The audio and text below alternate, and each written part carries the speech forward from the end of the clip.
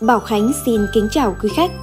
Hôm nay Bảo Khánh sẽ chia sẻ với quý khách cách chọn mẫu tượng Phật để xe ô tô phù hợp với bản mệnh.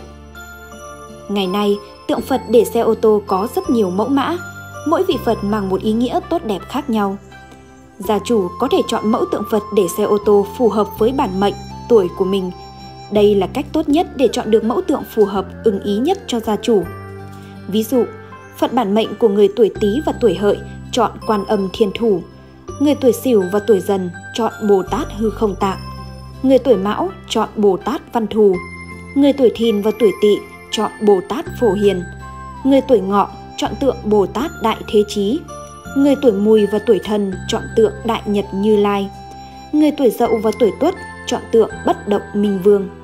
Phật bản mệnh của người tuổi Hợi là Phật A Di Đà. Đừng quên theo dõi Bảo Khánh để biết thêm nhiều thông tin hơn nữa về các vật phẩm phong thủy.